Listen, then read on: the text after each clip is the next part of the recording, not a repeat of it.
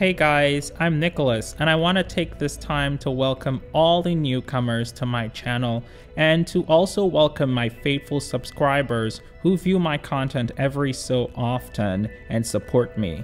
Before I begin today's video, I want to encourage you newcomers to subscribe to my channel and to like this video. Okay, let's begin. So in today's video, we'll be delving into four important categories.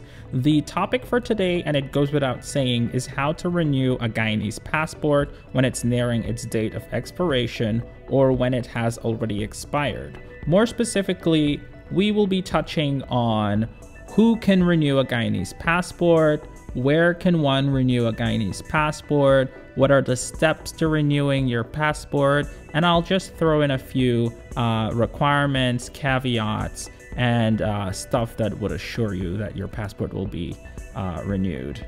So to start us off, the fact that you're watching this video says that you're probably Guyanese or curious about the Guyanese passport. Well, let me enlighten you a bit.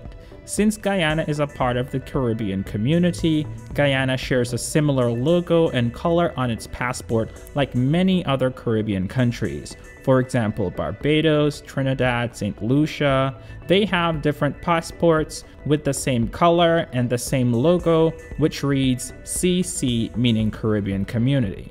You see, while most Caribbean countries are washed by the Caribbean Sea, Guyana, however, is fixed in South America and brings a unique flavor of culture, language, custom, and lifestyle to the world. The point is that if you're going to apply for a renewal of your Guyanese passport, you should definitely be Guyanese.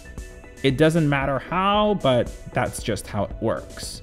So now that you know who can apply for a renewal of the Guyanese passport, you should probably know that the validity of a Guyanese passport is five years. Within those five years, you're safe, and outside of those five years, you're screwed, unless you decide to renew your passport. So let's talk a little bit about location. Currently, you can renew your passport via two routes. If you're in Guyana, you can go to the Central Immigration and Passport Office located on Camp Street.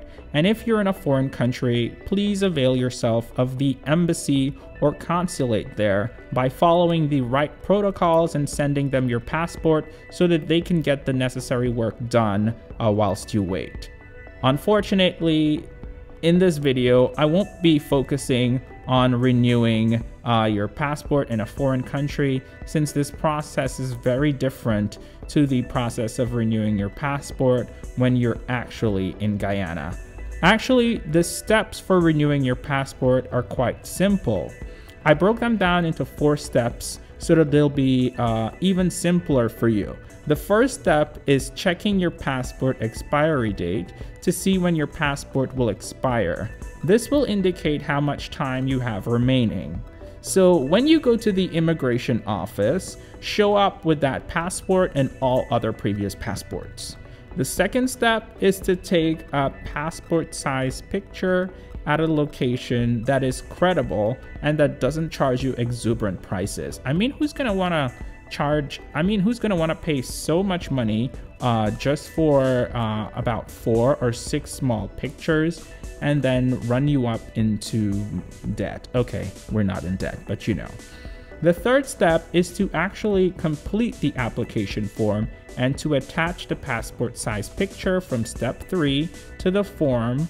And the last step is to head down to the passport office with old passports in hand and hand in your application that is after having paid the 6000 Guyana dollars fee for the 32 paged passport or the $10,000 Guyana dollars fee for the 46 paged passport.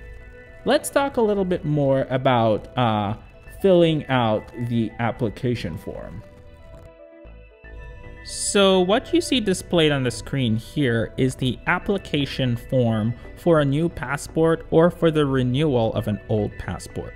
You can see in this section it says surname, maiden name, first name, second name, and third name if any. So I just filled in a random name, John Doe, John Terrence Doe, Uh, this guy doesn't exist, but uh, it's to give you a rough idea of what you should do.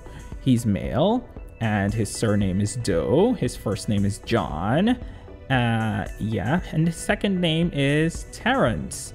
Uh, I didn't put maiden name because he's not a woman, and when he was married, he didn't change his name, you know, maiden, woman. Uh, but yeah, this is basically how you have to fill the top there. So moving down slightly, there's a section uh, marked for official use only. What this basically means is that this section is for the immigration officer or the person or persons reviewing your application.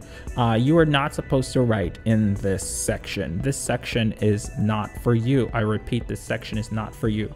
Scrolling down, we see uh, a, there's a part of the this application form that says instructions on how to complete this form. So this section is how I actually modeled this video. So you can probably read this section uh, if you don't know how to fill the form. And uh, I, intrinsically, this section will just guide you on how to fill it. So basically when you're done reading, you can like put your signature here, certifying that this is the true likeness, your true likeness.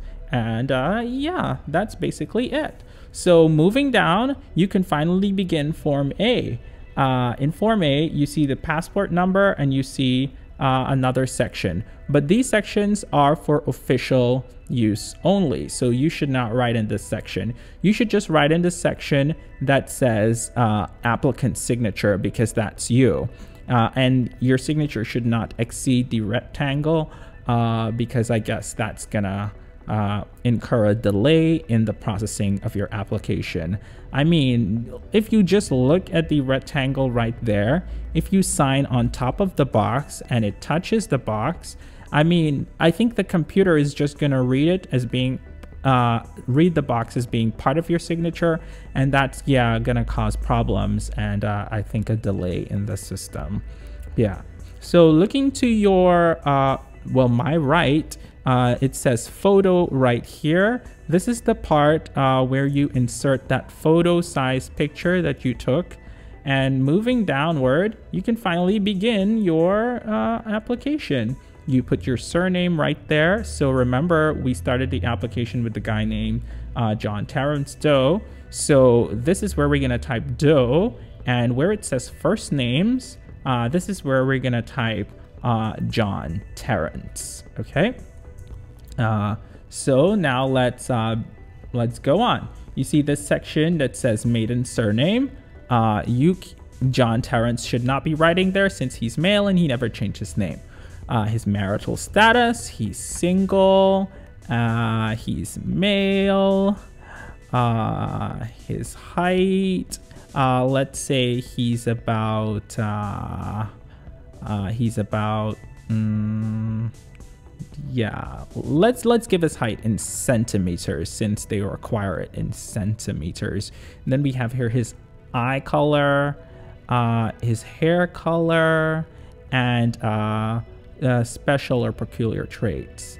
So about his height let's say that he's 176 centimeters and let's say his eye color is like the quintessential brown eye person in Guyana. And let's say his hair color is black, and let's say he has no peculiar marks or uh, features on him that would make him easily recognizable, like a scar or I, I don't know what others there are out there. So let's put his uh, uh, let's put his uh, well, his name hasn't been changed, uh, so that's a no. Exactly, like I said before. And let's let's put his age, his age at his last birthday. Let's give him 31. Why am I using this pencil? And let's go for the, his date of birth. I'm gonna put 31, 31, 31 because yeah, you can put the your date of birth right there, but I'm too lazy to think of a date right now. So yeah, we're just gonna put 30. Okay, 31, 30, and uh, yeah, 20. Yeah, that works. So, how about his country of birth? Of course, uh, we're talking about Guyana, so that's to be Guyana. And how about his place of birth? Uh, let's put Sophia and his profession. Hmm. hmm. Let's give him uh, therapist. Yes, therapist. Oh my god, I can't spell. Therapist. Exactly. So his present address, I'm gonna give him for Victoria Moon uh, Drive, uh, East Coast, Berbice. Mm-hmm. Uh, yeah, Guyana, exactly. And for his usual place of residence, uh, let's let's say that it's very different from his uh, his present address. It's 21 Brickdam Street, uh, 21 Brickdam Street, uh, Georgetown. Okay. So moving on, uh, let's go for his local telephone number. We're just gonna put in some random numbers there. Uh, and he doesn't have a fax number, uh, but he does have an email address, and that is John Doe, John Doe at fantasy.com. There we go. So this is just a random email address, uh, a made up one. Uh, so let's move on to section two, which is citizenship. Uh, state whether citizen is a republic, uh, citizenship of the Republic of Guyana. Uh, he's a citizen by birth. And then we move on to document number to prove identity. Yeah, you can put your ID card number right there and the place of issue, Georgetown. Date of issue, let's put the 12th month of uh, the 11th day, uh, 2017. Okay, yeah, that sounds about believable. Uh, let's move on to section three. Married woman applying for a passport must complete uh, this section. So he's not a woman and he's not married, so this section does not pertain to him at all. Okay, so this section uh, has nothing to do with him, and this section too. It has nothing to do with him since he is a legal resident of Guyana. He hasn't been adopted, he was born here in Guyana and he's been living here for the longest while.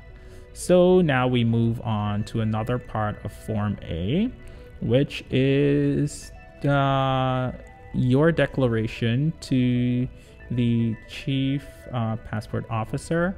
Uh, well, it's it's a guardian. Well, since uh, he's 31 years old, he doesn't need a guardian. So yeah. So now let's move on to the use of uh, the passport. What are you going to use the passport for? So let's say that he's going to use the passport for, uh, hmm, for purposes of, oh no, no, no, no, no. This is, oh my God, I can't spell tourism. Uh, so, well, I don't think I should write purpose here, but let's see. Yeah, exactly. Purpose is at the bottom. So let's say that uh, the passport is required for traveling to to go to the United States. Uh, yeah, that's specific enough. And what's the purpose of travel? Hmm. Let's say for tourism, business, and uh, study. Yep, that basically covers it all. So in this section, you should read it carefully. In section A, it says, uh, I, the undersigned, hereby apply uh, for the issue of a passport. And B, I declare that the information given in this application is correct to the best of my knowledge and belief, and that I have not lost the status of citizenship of the Republic of Guyana, and that I have not previously held or applied for blah blah blah. You should fill out that section. And then in the bottom, it has passport number right there or document number. You can put your ID card number or your passport uh, number, your old passport number. So I would put my passport number there because it makes much more sense. And then at the bottom, you just sign and then you date it to actually show uh, when you actually signed it. Yeah. So I'm going to put 31, 31, 31 because I'm too lazy to think of a date. And yeah, let's continue the other part of the application. So about references, you're not going to need any references because when you first applied for your passport, you already gave up a reference and I think that covers that. So this section is about lost and found, so you don't have to do that. Uh, and uh, this section is for official use only. So you're in the clear. You are basically done for now. So yeah, you finish on uh, page four.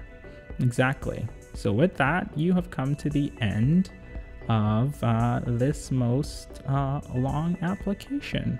So I hope that this has helped you out and uh, has given you an overview as to how to do uh, the application for the passport. And with that, I'd like to thank you for tuning in and uh, thank you so much and uh, do enjoy the rest of your the rest of your day and uh, yeah goodbye